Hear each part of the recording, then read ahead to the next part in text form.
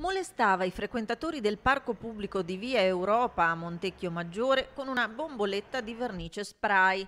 Ad intervenire gli agenti della Polizia Locale dei Castelli che lo hanno invitato a fornire le generalità, ma il soggetto pregiudicato nigeriano di 20 anni non solo si è rifiutato con atteggiamento di sfida, ma ha prima offeso i due agenti e poi opposto resistenza ferendoli.